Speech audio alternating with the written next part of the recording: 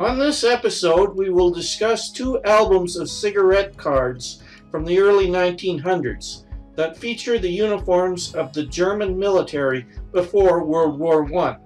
Then we will take a look and dis discuss my German regimental beer stein for the 112th Infantry Regiment of the German Army.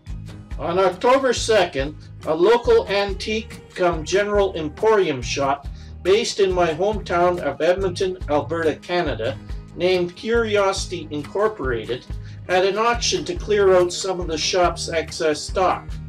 At this auction, I won the two albums of cigarette cards that we will take a look at today. Cigarette cards were produced in the late 1800s up to the 1940s to be enclosed in cigarette packages to encourage people to purchase a company's particular brand of cigarettes. These cards would feature images of sports heroes, famous actors and actresses of the time, and images of a general interest. The albums I bought at auction contained cards produced by the Waldorf Astoria Cigarette Company that was in business from 1906 to 1929 in Germany. The name Waldorf Astoria intrigued me, and I wondered if it, this cigarette company had anything to do with the famous hotel in New York City. From what I learned, this appears not to be the case, and the common name between the hotel and the cigarette company is just a coincidence. Since these cigarette card albums are from Germany, all the text in them is in German, which I do not speak. However, I was able to overcome this problem using a German to English translator service on the internet. Now, I cannot say this translation will be 100% accurate, but it came close enough for me to understand what is being expressed in the German text. Let's start with uh, this uh, cigarette album, which is titled The uh, Old Uniforms of the Army. The album had several pages on which the various units of the German army were described, before moving on to where the cigarette cards were glued onto the pages provided for that purpose. The album starts out with the colors or flags belonging to the various army units.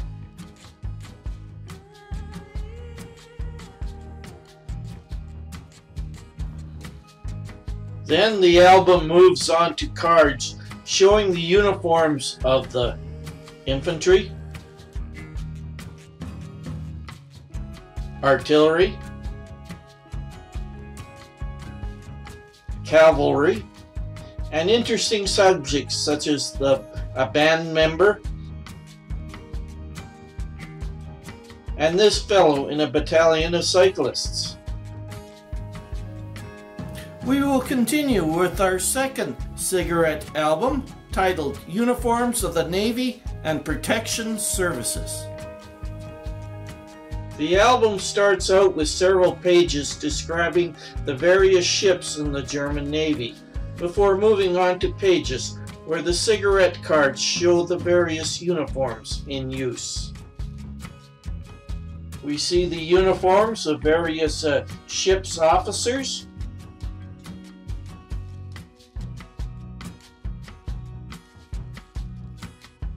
as well as the uh, non-commissioned ranks on board the ships.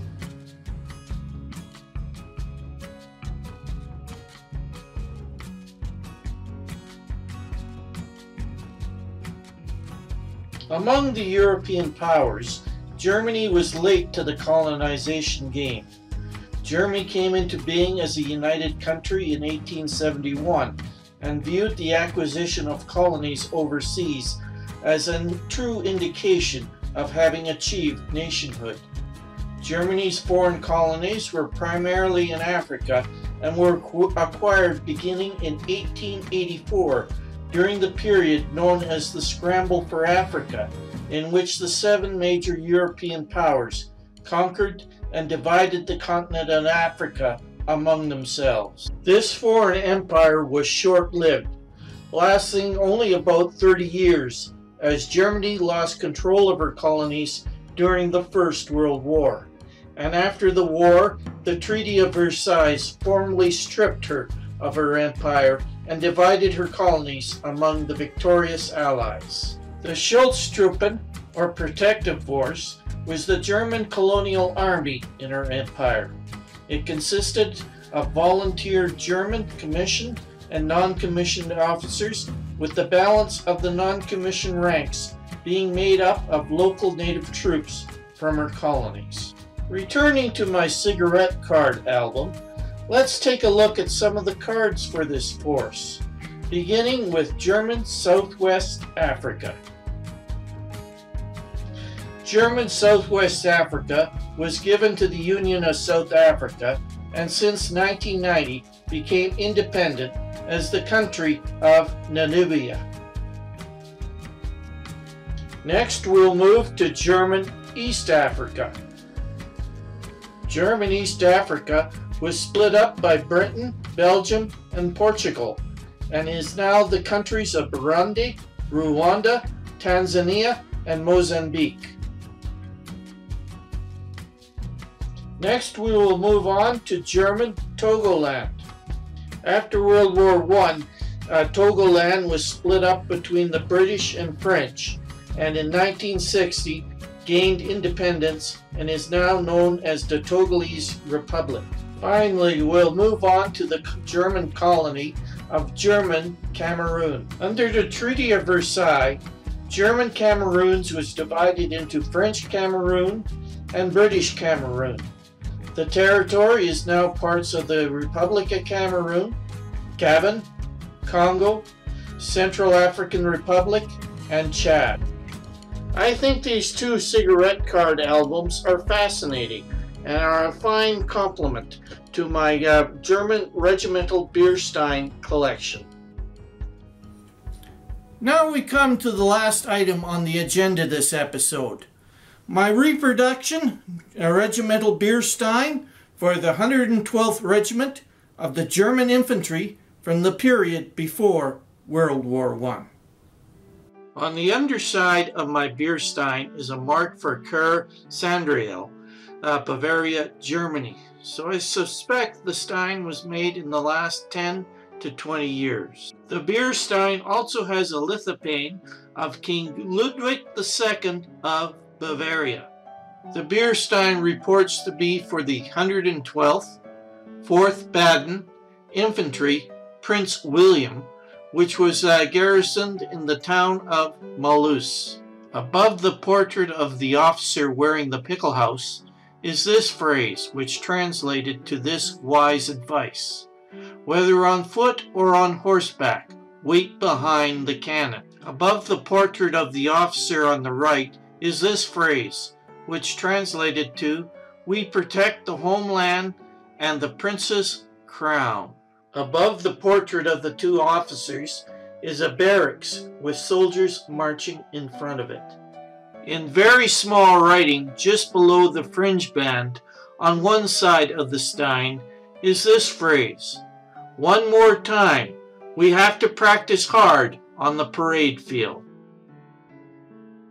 Below this phrase is a group of soldiers on maneuvers, with another group just below them by a campfire. Above the soldiers by the campfire is the phrase, Oh, how far is he who rests in the heated bivouac? Below the soldiers by the campfire is the phrase, Memory of, which when combined with the German phrase at the bottom of the other side of the stein becomes Memory of my service time. Continuing to the top of this side of the beer stein, just below the fringe band, we come to some more German text that seems to translate to lying at the bivouac fire, then headed home to the waterhouse, below which is uh, more soldiers on maneuvers. The bottom image appears to be a soldier comforting the wife or girlfriend of a fallen comrade. The text in the banner above them seems to translate to, God keep you. It would have been so nice. God keep you. It shouldn't have been. On either side of the beer stein handle are the names of the men serving in the unit. Their term of service is given as 1902 to 1904. Normally, the name of the soldier to whom the beer stein was given is also included. However, this doesn't appear to be the case this time with this stein. Well, folks, that concludes this episode. I hope you enjoyed what you saw, and if you did, please hit that like button below and consider subscribing to my channel. Till next time, everyone keep safe and well.